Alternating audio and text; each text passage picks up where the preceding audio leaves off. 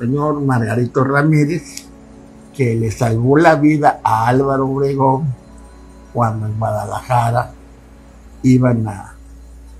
a prenderlo para matarlo. Entonces Margarito Ramírez, que manejaba, bueno, que era el operador del tren, conocía a Álvaro Obregón, lo disfrazó de mujer y lo trajo en el tren. Entonces, cuando pasaban por diferentes comunidades o poblados a revisar a ver si no iba ya algún enemigo de la, pues, de la revolución, Claro. pues iba vestido Álvaro Obregón de mujer. Entonces no se dieron cuenta y llegó a México, llegó a la presidencia de la República y como premio mandó a Margarito Ramírez a Quintana Roo, que su estilo de gobernar era abusar de las muchachas y del presupuesto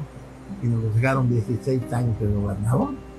hasta que vino el cambio con Aarón Merino Fernández que era también político de Puebla entonces cambió el destino de Quintana Roo porque después de Aarón Merino Fernández también Rafael. Melgar que era general hizo un buen gobierno hasta que vino la 24 de noviembre de 1975 el Congreso de la Unión, es decir, la Unión